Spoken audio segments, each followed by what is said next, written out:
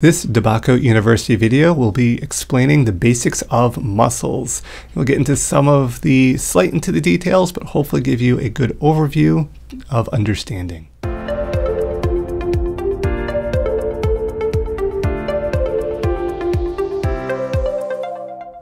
Right, let's get into muscle basics explained here. Well, first off, why do we see striations in our skeletal muscles?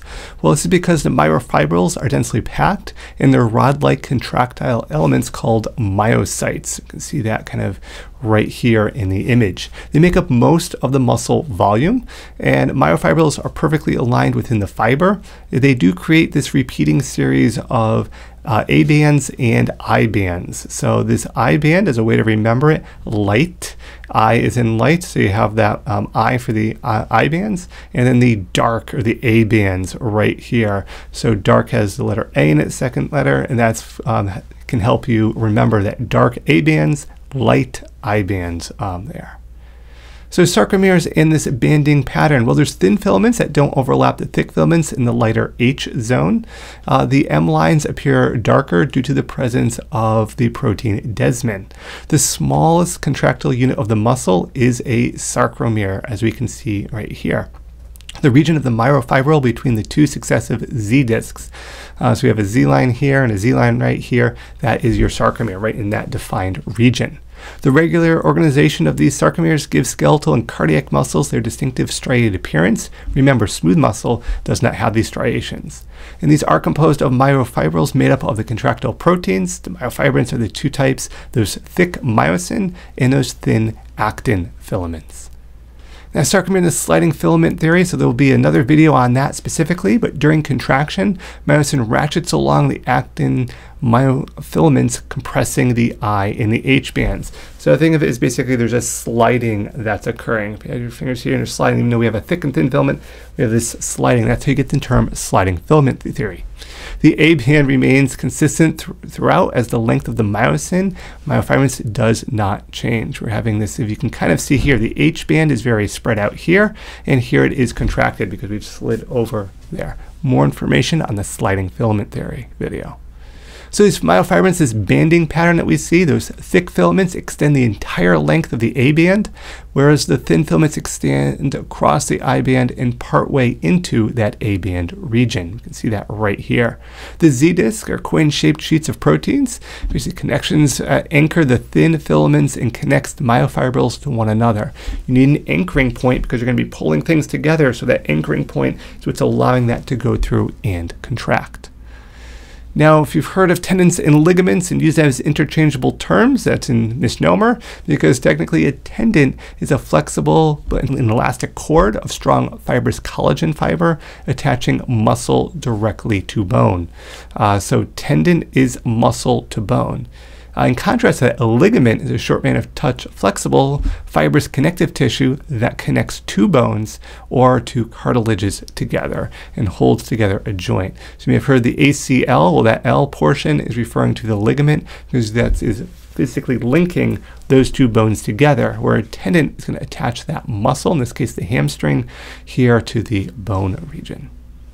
So how do muscles work in a very basic sense? Well, skeletal muscles are attached to bones by uh, straps of connective tissue, again called those tendons I mentioned.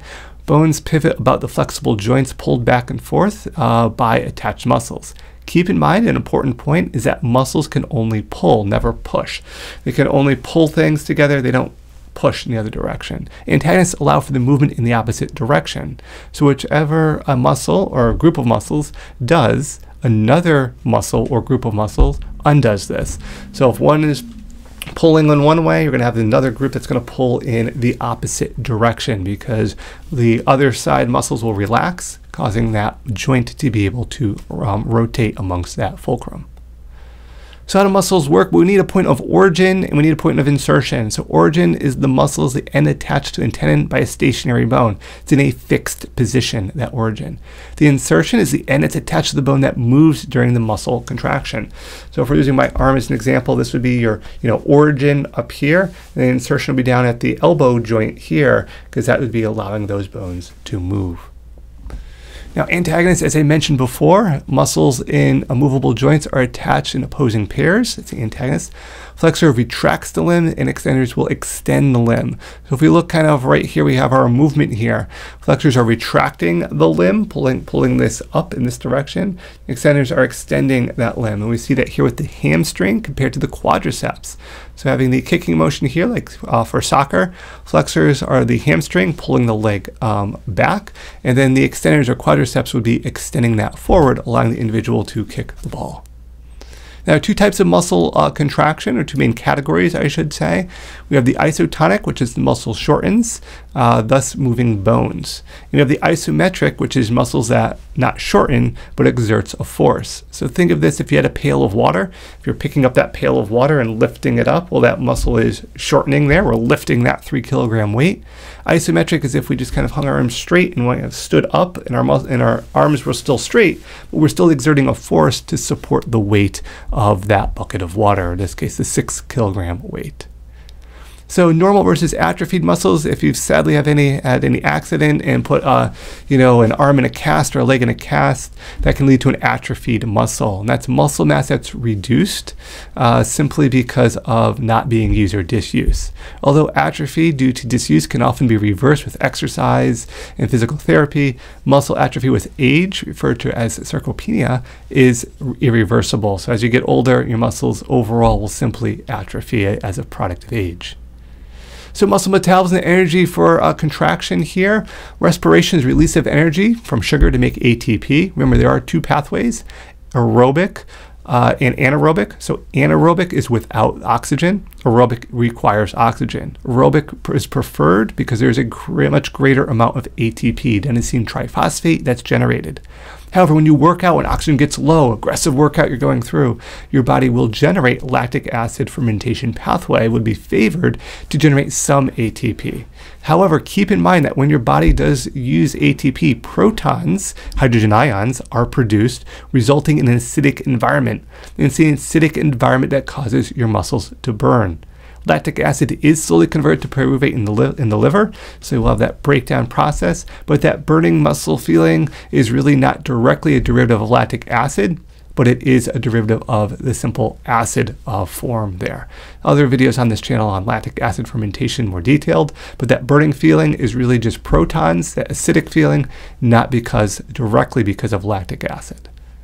Uh, if you ever had your eye kind of, kind of twitches a little bit here, where we kind of get that little uh, twitchiness of the eye, uh, this can be cause of stress, limited sleep, or high caffeine consumption.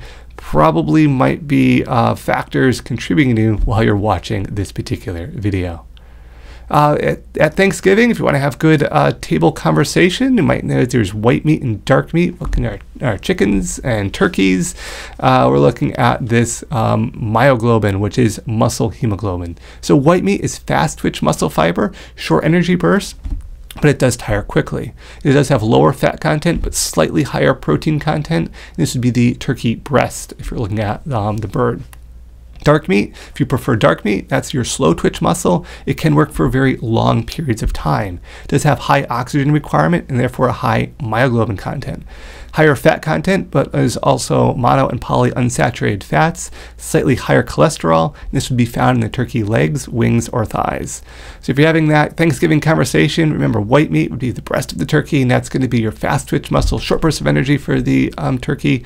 Dark meat, if you prefer that, was your slower twitch muscle for the turkey, and that's going to be the legs, wings, and thighs um, if you have an interest there. Hopefully this provides you a very basic overview of muscles and develops a greater understanding.